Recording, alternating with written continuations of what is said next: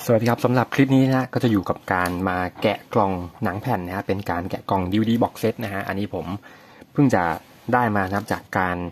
ประมูลเสนอราคาในกลุ่มซื้อขายหนังแผ่นเนี่ยพวก DVD บูเลอะไรแบบนี้นะก็เป็นหนังเรื่องสี่แพ่งนะฮะเป็นชุด box set นะฮะ limited edition นะฮะเป็นลิขสิทธิ์ของ GTS เนาะเป็นหนังของ GTS จริงๆมันเป็นหนังเก่าเลยนะครับ แต่ว่าผมเห็นว่าช่วงเนี้ยในกลุ่มเนี่ยเขาเอา เอาหนังมา ที่เป็นหนังของ GTS อะที่เป็นพวกบ็อกเซตพวกฉลาดเกมโกง พวกเมไหนอะไรแบบนี้พวกหลายเรื่องหนังเก่าๆเอามาขายกันเยอะนะ ผมก็ไม่รู้เพราะอะไรนะครับเขาไปหาซื้อไปเหมาอะไรกันมาจากไหนอันนี้ผมไม่รู้นะ แต่ว่าเห็นบ่อยนะ แล้วผมก็ค่อนข้างจะสนใจนะเพราะว่าหนัง GTS อะมันเก่าๆหลายๆเรื่องนะ สนุกเป็นหนังดีๆหลายเรื่องนะครับ ก็คือแล้วเขามีการผลิตพวก boxset ออกมาน่าสนใจนะฮะ แบบนี้เป็นต้นนะครับ อย่างผมเห็นสี่แพร่งเนาะพวกที่ผมเคยรีวิวรีวิวไปแล้วอย่างกวนมึนโฮ แล้วก็ SuckSeed อะไรแบบนี้นะเขาดีไซน์มาได้แปลกกว่าค่ายผลิตแผ่นหนังไทย ค่ายอื่นๆนะ อันนี้มันเป็นลิขสิทธิ์ของอะไรวะเนี่ย ตัวแผ่นของ GTH เองเลยใช่ไหม ของแกรมมี่เองเลยใช่หรือเปล่าวะเนี่ย ขออนุญาตนะฮะ เออน่าจะเป็นของแกรมมี่ผลิตเองเลยนะครับ ตัวนี้เป็น boxset สี่แพร่งภาคแรกนะครับ เป็นผมได้มาในราคา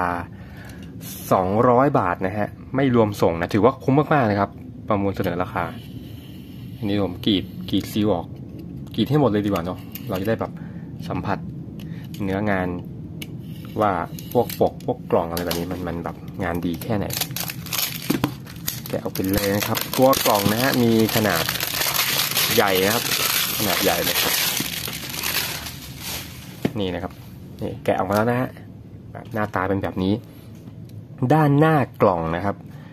เขาดีไซน์มาเป็นสัญลักษณ์สีแพ่งสีแยกนะแล้วตัวเนี้ยมันไอ้ไม้กางเขนสีแยกเนี่ย มันก็จะเหมือนภาพโปสเตอร์หนังก็คือ มันจะมีกิมมิคพวกตัวละครต่างๆ มีเรื่องอ่าก็เป็นตอน อันนี้เป็นตอนอะไรนะ ที่อยู่บนตึกอะที่นางเอกขาหักแล้วก็ตอนคนกลางใช่ไหมตอน อตอนนักเรียนแกล้งกันนะบูลลี่กันแล้วก็อันนี้ตอนของพลอยเฌอมาลย์นะที่อยู่บนเครื่องบิน อันนี้ตอนสุดท้ายสนุกมากนะครับ ตอนนี้ ก็สภาพที่ผมได้มามันอาจจะเป็นมือหนึ่งใน seal ก็จริงนะ แต่ก็ยังพอเห็นร่องรอยเมื่อกี้มันมี seal ขาดนะครับ เห็นไหมมันเป็นเป็นคราบฝุ่นคราบฝุ่นติดมานะครับ ก็น่าจะเช็ดออกได้นะเอามือถูๆก็โอเค ตัวสัญลักษณ์ที่เป็นสีสีแพร่งเนี่ย มันเขามีการพิมพ์ให้มันเป็นแบบยังไงอะมันเป็นแบบเขาเรียกว่า สามมิติอะเลนติคุล่ามันสามารถเล่นเล่นมุมกับแสงได้เนาะเออแบบเนี้ยเห็นไหมมันจะเป็นเหลื่อมๆหน่อยนะฮะก็เนี่ยแบบมองมองเหมือนเป็นสามมิติแบบนี้นะฮะแล้วก็ตัวสัญลักษณ์เนี้ยมันจะนูนขึ้นมาเนี่ยคือเขานี่เลยฮะดูความความนูนของมัน คือมันเขาแปะ แปะเอากระดาษกระดาษที่เป็นสามมิติอะเป็นชั้นๆเนี่ยแปะทับไปเลย เท่าที่เห็นเนี่ยมีสองชั้นหนาๆเลยนะครับ ก็ถือว่าดู สวยดีนะครับ ส่วนตัวกล่องด้านหลังเนี่ยมันจะเป็นแบบด้านๆหน่อยนะครับ เมื่อความกลัวจู่โจมจากทุกทางสี่เรื่องสี่ผู้กำกับจากชัตเตอร์แฝดและ Body ศพสิบเก้านะครับ ตอนนี้ตอนที่ฉายนะมันดังมากนะ เรื่องสีแพงผมเองก็ดูนะครับรู้สึกว่าเออหนังไทยไม่ค่อยเห็นนะ ที่แบบทำมาเป็นหนังสไตล์แบบนี้ แล้วทีเนี้ยผมก็ ผมก็ไม่รู้แล้วว่ามันแกะยังไงวะเนี่ย มันเปิด ขออนุญาตนะฮะ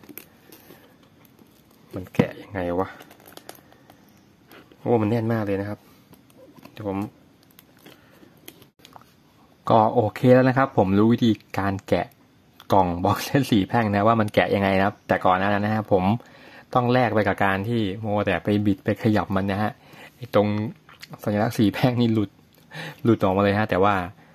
ไม่น่าจะเป็นปัญหาเลยนะเพราะมันน่าจะติดกาวได้นะครับ โอ้อย่างเซ็งนะครับก็คือมันแกะยังไงนะครับ แต่ก่อนอื่นผม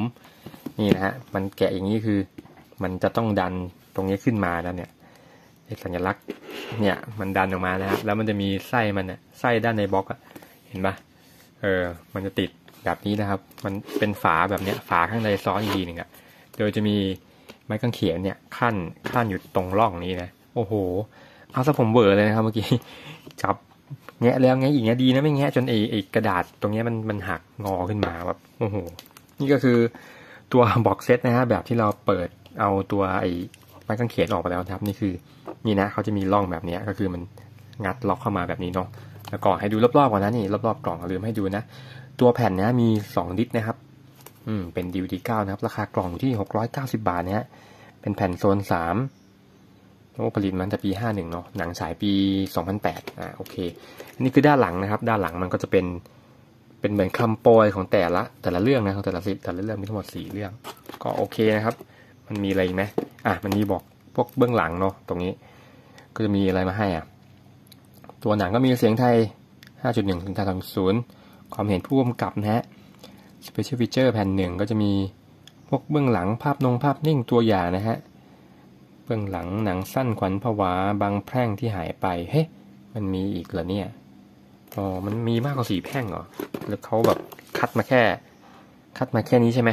งั้นโอเค เรามาเปิดดูด้านในเลยครับหนึ่งสองสามโอ้โห เป็นอะไรที่ผมอยากรู้เหมือนกันว่าไอ้ boxset ด้านในมันเป็นยังไงนะฮะเขาโอ้โห มันมันเป็นเป็น limited นะฮะ บอกให้เลยคือ มันมีการ run number ด้วยนะครับ แล้วก็ปั๊มเลยนะตรงเนี้ย ปั๊มพิมพ์แล้วก็ปั๊มบุ๋มลงไปนะฮะ limited editionนัมเบอร์ที่สามหกสี่สี่ มีทั้งหมดสี่สี่สี่พันกล่อง โอ้สี่พันสี่ร้อยสี่สี่กล่องนะครับ ปัจจุบันน่าจะเหลือเยอะแหละเพราะเห็นในกลุ่มขายกัน ขายกันแทบทุกวันนะสี่แพงก็เปิดมาด้านในมันออกเป็นสไตล์แบบดิจิแพ็คนะดิจิแพ็คดิจิบุ๊กตัวกล่องเนี่ยมันเป็นกระดาษเขาเรียกว่ากระดาษเหมือนกระดาษแข็งแข็งหนาๆกระดาษปกหนังสืออะกระดาษจั่วปังเนาะผมเรียกว่างี้ดีกว่า เหมือนบล็อกไอ้บล็อกการ์ตูนมังงะที่ผมรีวิวอะ คือถ้าใครมีจะเข้าใจเลยว่ามันเป็นกระดาษแบบนั้นเลย แข็งแข็งหนาๆนะครับ แล้วก็ด้านในก็จะมีภาพเป็นสองนางเอกนะคือพลอยเฌอมาลย์แล้วก็คุณมณีรัตน์คำอ้วนเอนางเอก เพื่อนสนิทอะคือนางเอกเพื่อนสนิทชื่อเอ๋ไหมใช่ครับชื่อเอ๋เนาะคนนี้ ก็เป็นดาราที่คุ้นหน้าคุ้นตาจากหนังของ GTH นะครับ ด้านในเนี่ยผมสัมผัสได้ถึงฝุ่นนะฝุ่นหรือลาวเนี่ยเออมันเก่าแล้วเนาะมันเก่าแล้ว มันตั้งสิบกว่าปีนะครับ แล้วมันมีอะไรมาให้บ้างนะฮะ ส่วนตรงกลางเนี่ยก็คือ ไอ้เจ้าหญิงอะ่ะ เจ้าหญิงที่อยู่บนตอนสุดท้ายเครื่องบินอะ่ะอ๋อเปิดมาตรงนี้ เฮ้ย โอ้โห เก่าจริงนะด้านใน เป็นลาเป็นคราบเลยนะครับ มีอะไรมาให้อะโอ้ มีโมเดล ทุกคนนะฮะ เขามีโมเดลพลาสติกประกอบนะครับ เป็นเป็นเครื่องบิน อันนี้ผมเหนือคาดมากนะครับ เป็นโมเดลเครื่องบินนะครับประกอบแบบง่าย ๆ เลย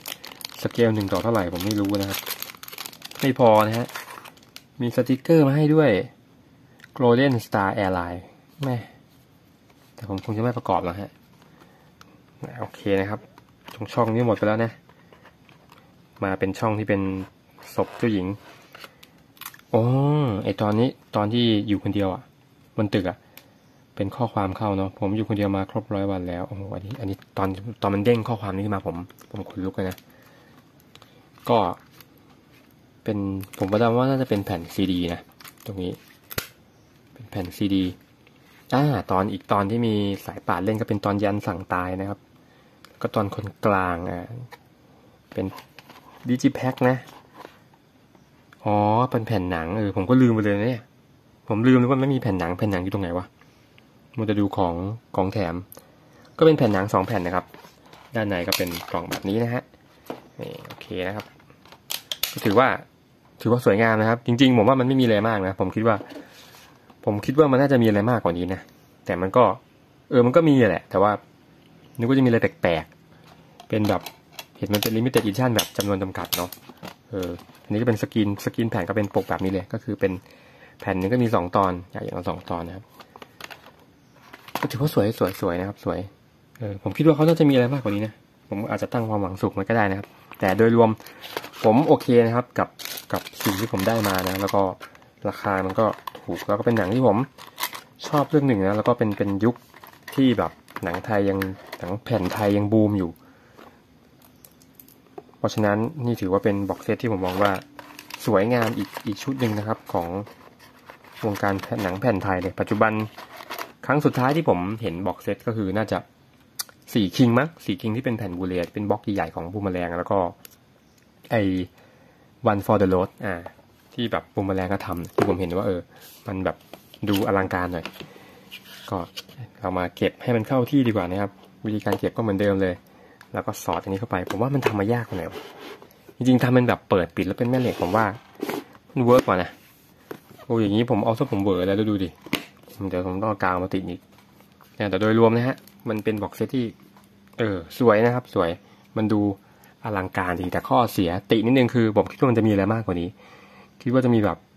เปิดมาแล้วมีแบบมี art book มีเออมี art book มีแบบ photo card photo card อะไรแบบนี้นะก็ไม่มีเลยนะครับ ก็มีมีเท่าที่เห็นเลยครับแต่ส่วนตัวผมพอใจกับ boxset สี่แพร่งนะเรื่องนี้ผมก็เดี๋ยวเอามาเปิดดูซ้ำอีกสักรอบกันผมว่าหนังมันสนุกดีแล้วก็ณตอนนั้นนะวงการหนังไทยที่เป็นหนังสั้นสยองขวัญเนี่ยผมไม่ค่อยเห็นนะ นี่จะเป็นเรื่องแรกหรือเปล่าที่ทำทำแล้วทำได้แบบ มีฟอร์มอะเป็นหนังแบบมีฟอร์มมีแบบไอเดียขายไอเดียอะไรแบบนี้นะก็สุดท้ายนี้นะก็ฝาก คนให้กดไลค์กดแชร์แล้วก็ขอบคุณที่รับชมแล้วก็สวัสดีครับผม